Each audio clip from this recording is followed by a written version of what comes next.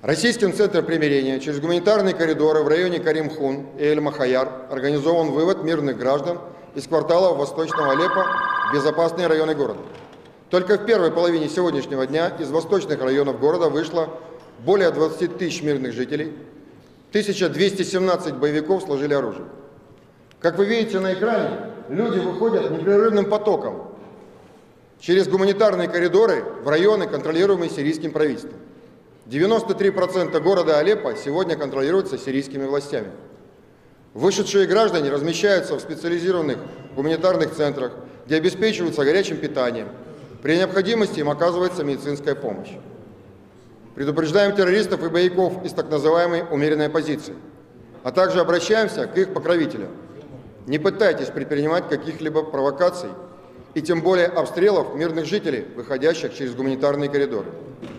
Российским центром примирения ведется постоянный мониторинг обстановки не только на земле, но и с помощью беспилотных летательных аппаратов.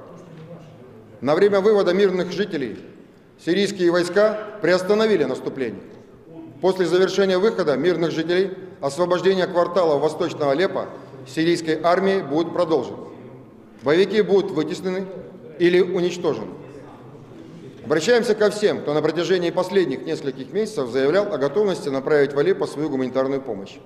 Представителям Соединенных Штатов Америки, Великобритании, Франции, Канады, Европейскому Союзу и международным организациям. За последние двое суток из районов Восточного Алеппо российским центром выведено уже около 50 тысяч мирных жителей, которые нуждаются в обещанной вами гуманитарной помощи. Пришло время проверить истинность ваших намерений.